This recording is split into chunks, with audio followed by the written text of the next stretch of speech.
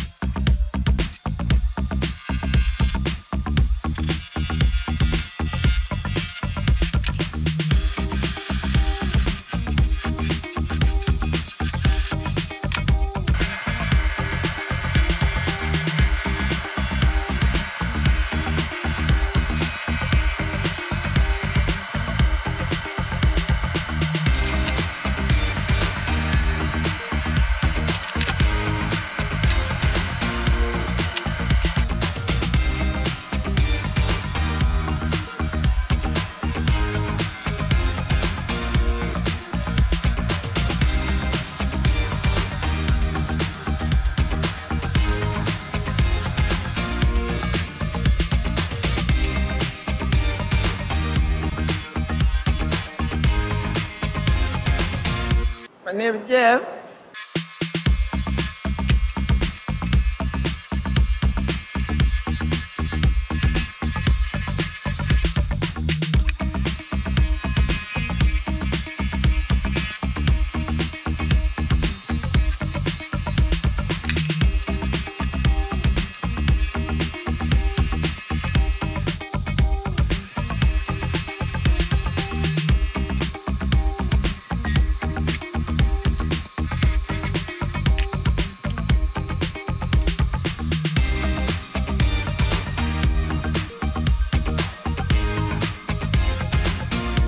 Okay, I think this is looking pretty cool. I like it. I'm not really too sure what I'm actually doing at the moment. um, I'm kind of just shaping, I don't know, looks like an egg to me. But um, I'm unsure whether to make this into a pot or a vase. I'm thinking maybe a vase actually. Uh, that will make it kind of fairly simple as well. Um, so thinking maybe we sort of shape this a little bit more like an egg, hollow it out, and then finish it up. What do you reckon?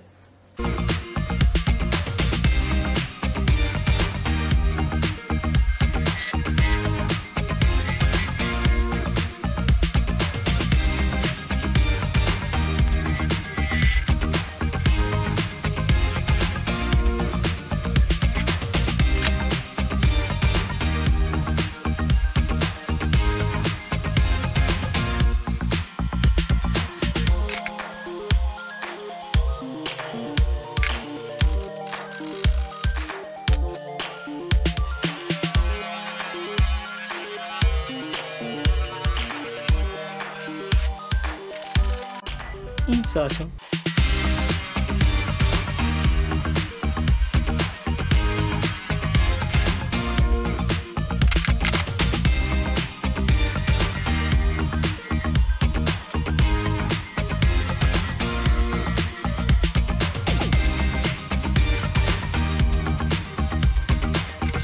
Now we need to get inside this vase and hollow it out. For this, I'm going to use my new Easy Wood Tools hollower. Apparently, this is the bee's cojones.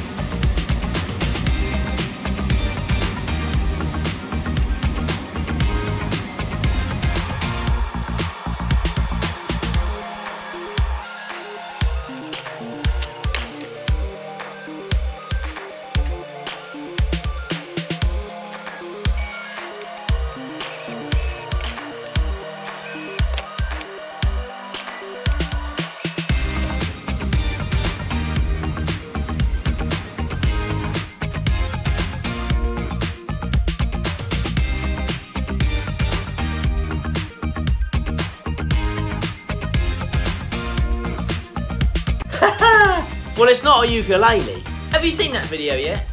I made this. I think it turned out pretty funky. I'm loving all these kind of resin kind of like spots all over it. So thanks, Jeff. My name is Jeff. So we went with the vase on this one, and I thought that was kind of appropriate. haven't made a vase for a little while. Got my little black emblem in there, if you can see that. And um, yeah, I think I think overall it's not a bad little it's not a bad little vase. I hope you like it because that's the important bit. So I've still got another couple of blanks that Jeff sent me down, um, and I'm not too sure whether to make like a series of these because I've got this one and I've got another one over there. Um, so we could make maybe this one into a pot, and then maybe I could make that other one into something else. But I just wanted to show you this. Just a quick video for you guys today. Sorry I didn't upload last week. It was pretty hectic after Makers Central. Um, and uh, just sort of winding down from that really. Um, but while we're on the subject of Makers Central, I just wanted to thank everybody that kind of came uh, and I met. Um, it was amazing, pretty overwhelming really to see and meet all these people. Um, and obviously I just wanted to have a massive shout out and thank you to all the people that helped support the show, all the makers that came from all over the world. Um, just to come and show their support for the show and mix in, join in. A lot of you helped out, which was amazing. So if I didn't get to say thank you to you, then I'm saying thank you now.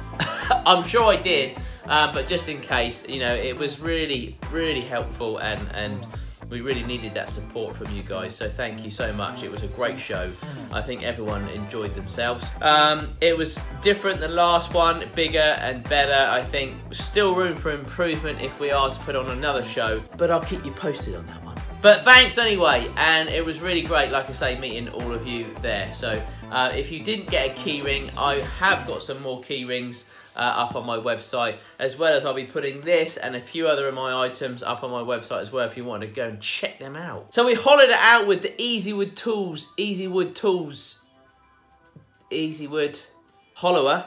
Uh, and this was really cool. Um, this is a really great bit of kit. Um, check this out. It's really useful for hollowing out stuff like this.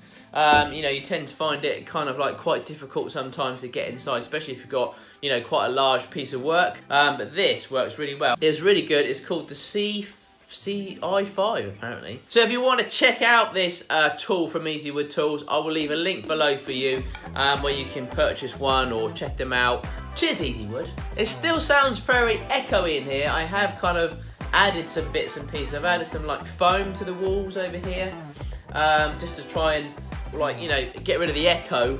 Um, and I've added a few other bits and pieces. I suppose in time, you know, to add more stuff in here. But it's got an open roof, you see, so um, there's no sort of ceiling, so that's why it's quite echoey, so I hope the sound's alright. Oh, and I got this in the car boot sale. Check this out! Who's a Star Wars geek? I am. Um, so this is a 1979 Millennium Falcon. Um, and I'm going to hang this up in my shop. I think it was pretty neat. I saw it there. I was uh, at the car boot sale with my buddy and we looked at it and we thought we should buy that and he mentioned, he said, you should hang that in your shop, Nick. And I was like, yes.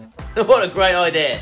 So I'm not sure where to put it yet, um, but oh look at it, it's so cool. It's even got the place for batteries. Uh, well, I remember, I remember having one of these.